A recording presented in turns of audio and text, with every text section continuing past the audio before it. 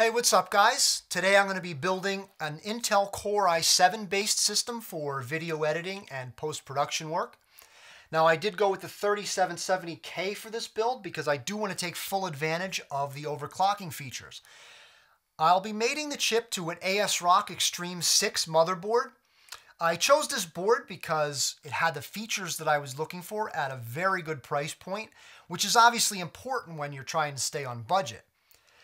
Now, before all you gamers out there start flaming me for my graphics card choice, just keep in mind that we do have slightly different requirements in that department, and the GTX 560 should suit me nicely. Now, complementing this build, we have 16 gigs of G-Skill 1600 megahertz RAM. We have two Western Digital 1 terabyte Caviar Black hard drives. We have an Asus multi-layer DVD burner, garden variety, but it will get the job done. Powering the system, we'll have a Corsair TX-V2 650 watt power supply unit. Now this is not modular, but trying to stay on budget, you can save a few bucks here and there, and a cosmetic issue is one of those times. Now, speaking of the case, I chose this case for its looks, but its price point also. It looked good in the photos, but let me tell you, when you see it in person, it's a beautiful case. Trust me on that. So let's get busy.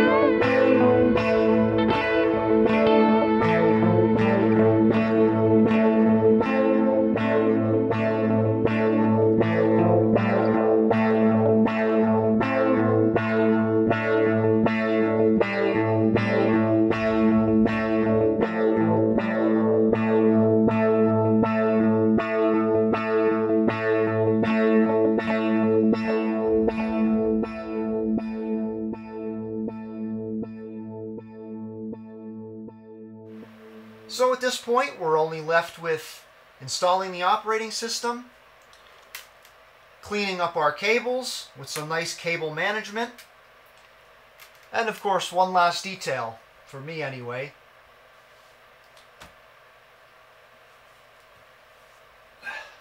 letting the hair down and enjoy my new system.